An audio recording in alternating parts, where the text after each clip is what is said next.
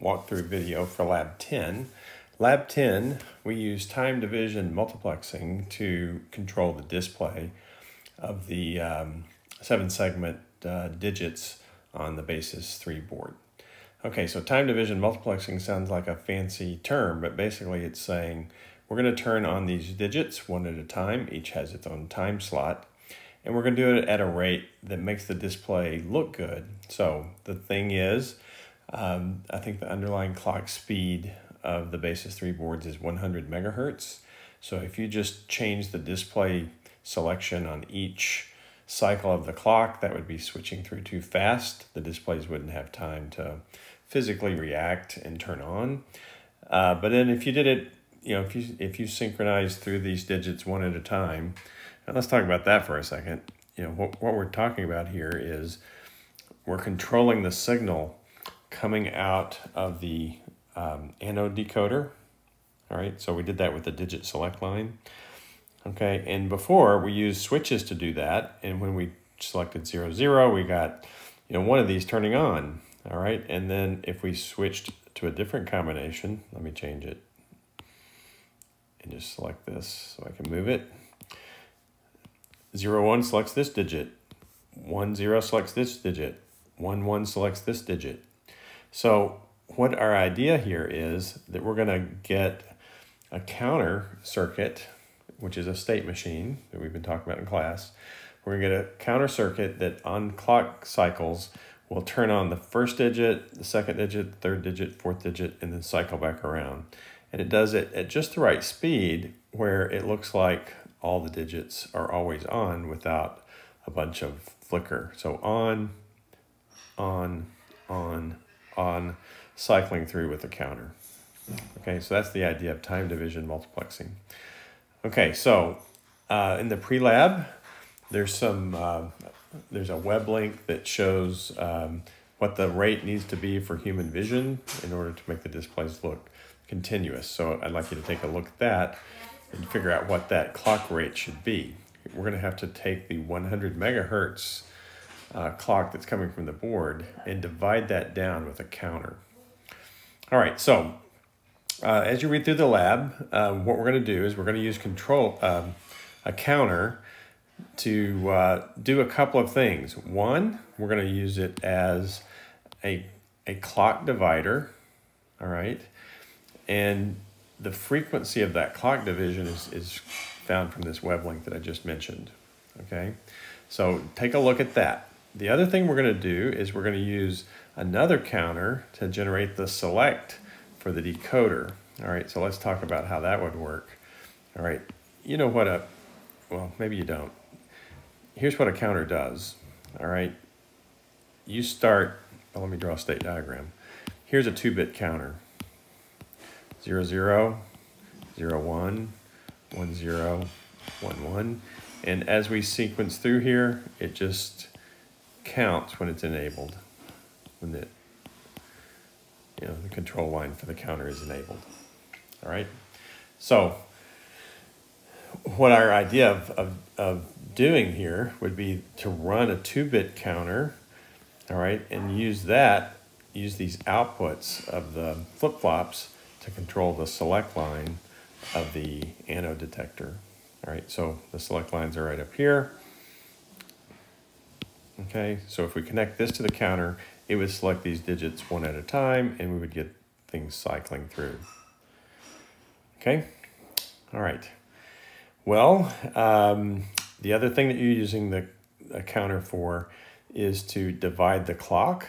All right, so let's talk about how that would work. All right, so if I had a bigger counter, let's let's say, um, move this around a little bit. Let's say I had a three bit counter. Okay, so that goes zero, one, two, three, four, five, six, and then seven. After seven, it circles back around.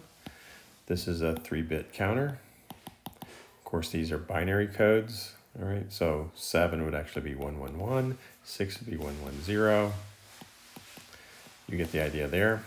And so the way we would design this counter is we'd set up a D register, and when we get to seven, we would have this go back to the next state. All right, so again, the control line that makes the counter work is an enable input that allows it to count. Okay.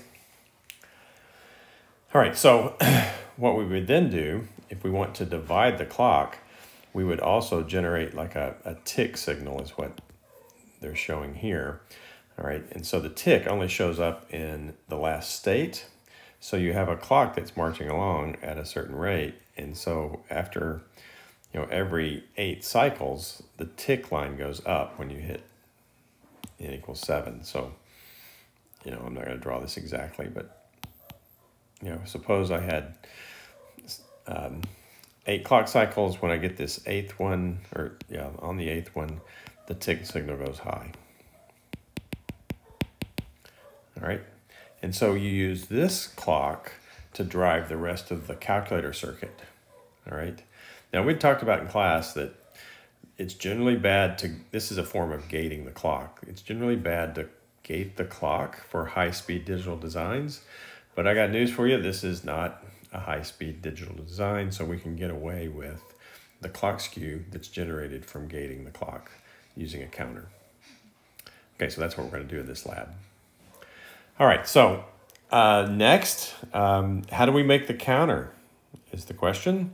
All right, so here's um, code that's included in the lab section. Unfinished counter is just barely unfinished. There's only one line that you need to do.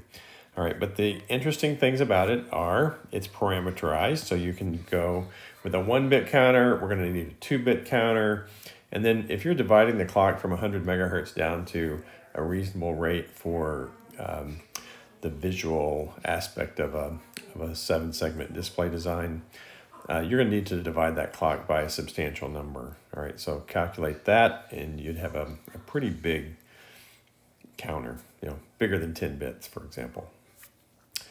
All right, so I'll let you figure out what that number should be. All right. Um, so that's the reason we want this to be parameterized because we don't want to have to redo the counter for a different number of bits. All right, so uh, we, we define an input, we have the clock, we have a reset, we have an enable like I talked about before in the state diagrams.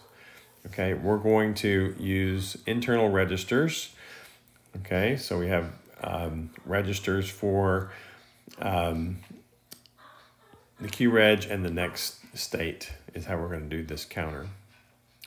All right, so then we have sensitivity based on the positive edge of the clock, and we're going to also add a reset. Okay, although we're not necessarily using the reset right away, but we, we still enable that in case we want to use reset. All right. Uh, and there's there might be a reset. We we used a reset button somewhere in our design, so we, we need to put that in. Okay, so the next state logic, uh, like we did before with a, um, um, a register, is that if you have a reset, then you then you reset. All right. Else, the the next state of the register is from the state logic. All right. So the next step is you need output logic. All right. And so we're going to, I'm sorry, next state logic. So we're going to use a sensitivity list, any variable that changes. You we use the wildcard uh, asterisk here. All right.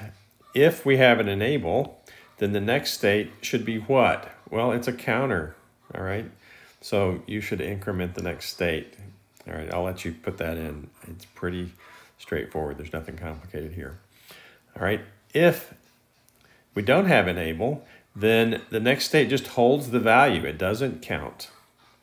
All right. So, so you just take the old, you know, Q, Q next is Q reg, whatever the old state was. Okay. From there, we can assign the actual count and we can make a tick. All right. Remember the tick is when the register values are all equal to one. So this is a concatenation notation that says I'm going to put n bits of one. And you see why I need that to be programmatic because um, if I have a variable size counter, you know, I can't put in all the combinations. All right, so I need some kind of notation that it, that uh, expands this algorithmically in the code so I can get the correct number of ones. So if I have two bits, you know, this would be a 1, 1. If I had three bits, it would be 1, 1, 1, and so forth and so on.